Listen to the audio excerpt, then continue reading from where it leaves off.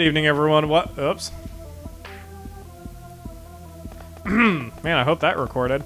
Good evening, everyone. Welcome back to PyroFalkon's Let's Play Extravaganza, where we are playing Recettear, an item shop's tale. At least I think that's the subtitle. I am joined by Yep. Akamura, Hi, everyone. who is doing 90% of the voices. Oh, I hate these guys. Oh, that was useful. Fuck. Yeah. Ah. Please don't die, Louie. Jeez. The enemies um, in this game have predictable attack patterns, but you have to kind of, you know, memorize them. Which uh, I have forgotten everything since. Really, you wasted a critical strike on a box. So, like, these guys, you sort of want to trick them into doing a fire punch and then walk around them. It probably won't take me that long to get back into this. The other thing with the dungeons is they have uh, regular, um, regular? Would that be the word? Predictable um, leveling scheme. So like all the enemies here are level three, which means all of the enemies on the third level of this dungeon will always be level three, and it helps you kind of plan around leveling and grinding if you want to, uh, eh, which is good. That way, if you ever do get into trouble, you just dick around, grind a little bit, and you're strong and ready to go. And then we have a lot more items to sell. Exactly. Yay! Capitalism, ho! Ow! Come on, do it again. Ah ha ha! Yeah, I've got the technique down. Jerk. Um, Oh, there was wait, he left something up there. Chestnut. Yay! Love her run cycle. So, uh, so you were saying that you, um, in the last episode that you taught yourself Japanese. Uh, Yep. how much did you teach yourself?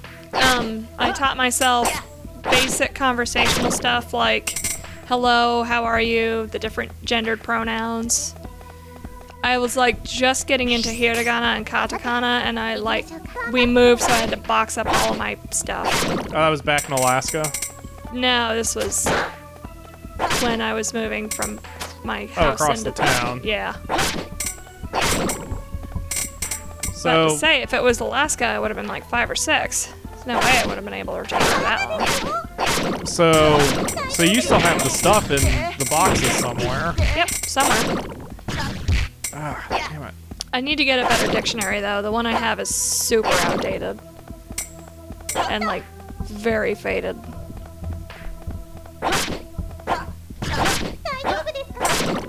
I wonder if uh, there was a game that the Game Grumps did, and it's on my wish list. Um, called, I think it's Go-Go Nippon or Nippon. Nippon. Um, it's a game that basically teaches. It's it's more of a tour guide than an actual game, although it is kind of Yeah. part dating simulator. But you, all you of the- can really tell how much someone knows Japanese based on how they pronounce stuff. right, that's true. But anyway, That was adorable. thank you, and I'm embarrassed. Anyway, what was the? You're fine. You don't know anything about the language. That's awesome. I didn't realize I clanged into the wall. Ow. Um, anyway, so, uh, if you, I don't know if you saw the Game Grumps LP of it, but all the converse, like all the dialogue in the game is shown in both Japanese and English, unless there's a specific reason that it shouldn't be. Like, um, there's a, toward the end, two of the characters converse in English, so a third character can't understand what they're saying and so it's only in English. Like it's only displayed in English, which is really cool. Anyway, my point of that spiel is that if you're interested in it uh, and interested in that game, let me know. I think it's on my wish list, and I'll keep an eye on interested. it. I'm sorry, I'm a little bit interested. because then like you might even be able to teach yourself even more. Like, Yeah. because you will literally mean- see a direct translation between. That's assuming, of course, you can pronounce the written text, which, you know, I don't. I Does it include kanji? I had a lot of trouble with kanji. I honestly don't know what kanji, Kanji- is. They're the really like the characters that get like super complicated. Well, that's that's what I'm saying. Like, I don't. What's the other one? Hiragana and also Yeah. katakana. Those are I see. I, I don't remember. they're phonetic. It's a phonetic languages. So Ego like- Ego Raptor, I think said what it was, but I can't remember. I wouldn't have retained that anyway, since the word is a, slightly nonsensical. Like I I I vaguely know what kanji is, like I've heard of the word, but it doesn't register since I don't really know yeah, it. like it's mostly memorization. Just like remembering how long English words are spelled. I see. Oh, hey, we made it to floor five. With the big ass treasure chest. And possibly a boss, but possibly not. This is. Did I. do it? I did, didn't I? Yeah, that's it. I did it! I cleared the Hall of Trials! Oh, sweet mystery of life, now you'll give me money to go, Louie! Her Tear, tier, this is all thanks to you guys! This is all well and good, but there is treasure hit. There is a treasure chest just ahead. It behooves us to investigate thoroughly. Tear, you really do like going for the money, don't you? Well, I, I do not spout such foolishness. There is no need to treat me like a flying ball of greed. Aw. Hey, hey now, you're totally a ball of greed. You're a loan shark.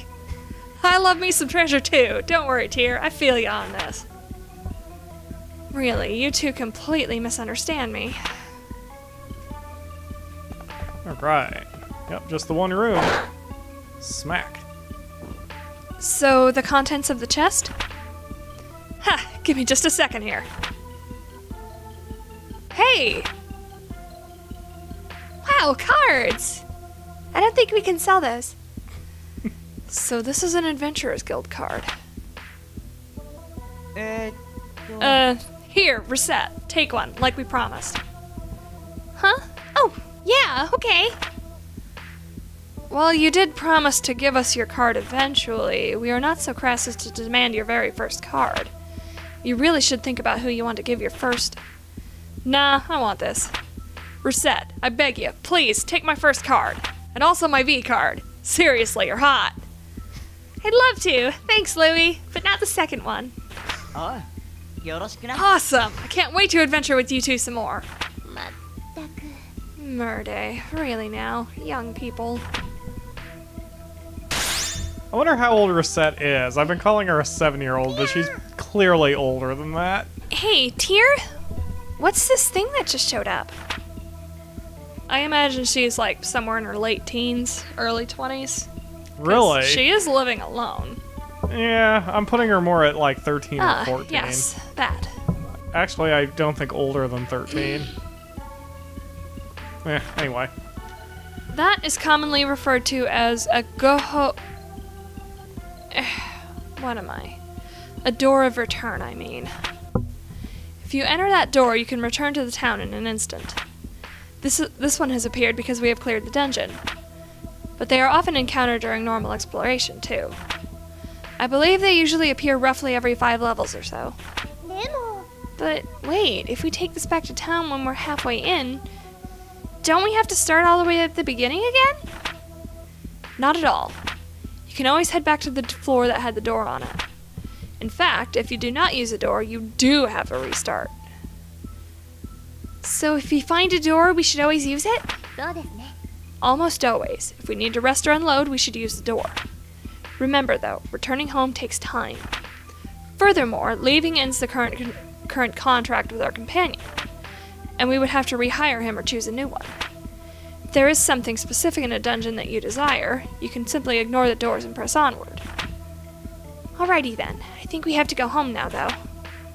Quite so. Oh, just to be sure, in the future, please try to refer try to avoid referring to this as going home, yes? Okay? That's odd. I don't remember that line. Wonder if that has some sort of deeper meaning. it might be a joke. It might be a joke, yes. That's a good question. Point. Anyway. Alright, we done good. Um, we're taking everything. Ah, we have 18 items. Nice. Eh.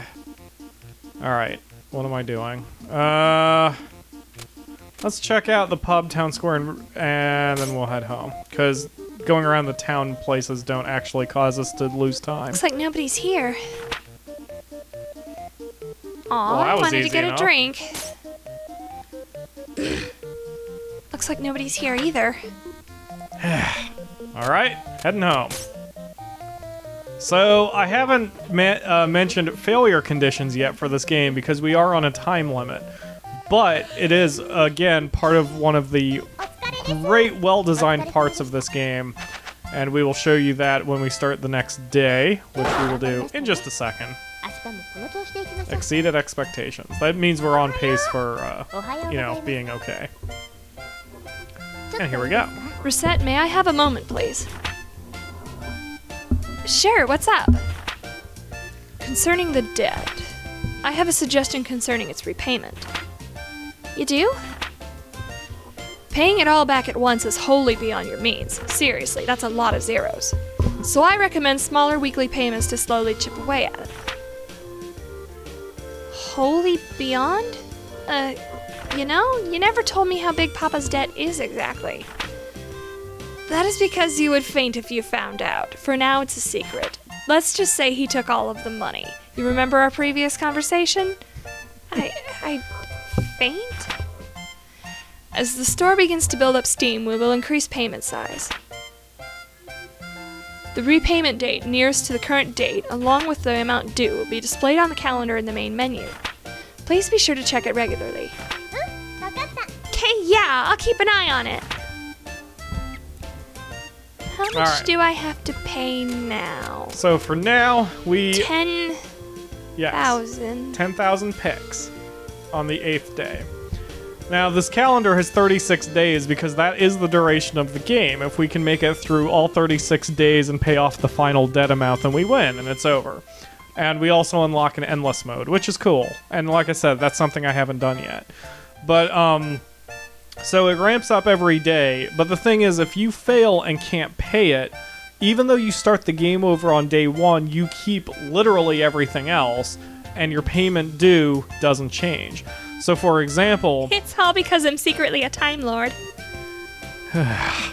so for example, um, when I inevitably fail this, by the time I do, hopefully it'll be the second or third week, and we'll have so much, uh, so many goods that we'll be able to make up the first couple of weeks in an instant.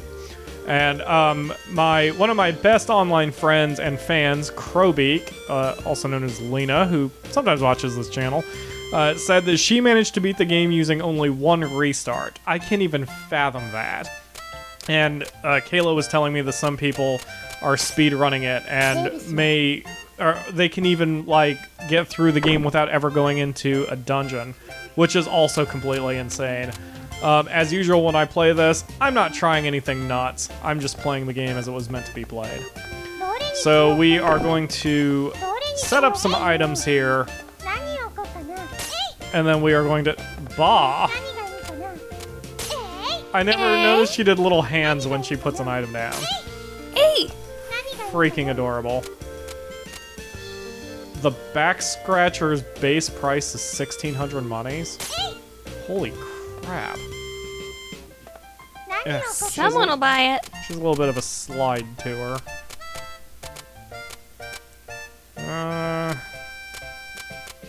see. Put up some of the slime stuff. Let's get rid of that. Forget why we have ingredients. We can use it to make items, and but I don't remember how. I think we'll head up to the Merchant's Guild after after we do this. So part of the other thing... Oh, hey, there's Louie. So part of the uh, strategy with selling people, selling to people, is that their appearance is also giving away how much they're willing to spend. Like old men, like this douche, has a certain amount that he's willing to spend. Crowbeak figured those out. I haven't. So, eh. My daughter-in-law asked me to pick this up. All right, so we're gonna How start much at should I? thirty percent. Wait, yeah, thirty percent. We'll see. Okay. so he's bitching, so we're gonna go down to 20%. And he's okay with that. Awesome. Thanks. Please come again. Glee, I sold, sold Worn Sword for 240 pix. Alright. Are you gonna buy anything, Louie? Oh, hi. Welcome. Alright. Again, we're going to start at 30%. He says no. Why am I having such a slowdown? We're going to go to 20%, and he's good for that. I should try 25% on old man. And uh, when it comes to... Louis? Yes! Okay. Hello, welcome to Recettear. When an adventurer buys an item, he adds it to his permanent equipment. So I've been looking for this. Is it really for sale? Absolutely, and I will sell it to you at cost. When it comes to the adventurers, I always sell them their equipment at cost because it helps them get stronger. Yeah, that sounds about right. Thanks. Please come again. Awesome. Yay! I sold Warren's sword for 200 pix. Adorbs. And, oh wow, four customers. Oh, hi, welcome. Alright, let's try 25%. Nope, 25%, not a penny less. Wait, see? He's being a dick. He was fishing for a lower price. So that means old men, 25%. We need to remember that. Because the entire game only works in percentages. So we are going to go out on the town in tomorrow's episode, and we're going to hit up the uh, the Merchants Guild and see what we're doing with these ingredients, because I kind of halfway don't remember what I'm doing with them. So, yeah. Thanks for watching, guys. We'll see you tomorrow. Bye. Am I being sufficiently adorable? You're being very sufficiently adorable.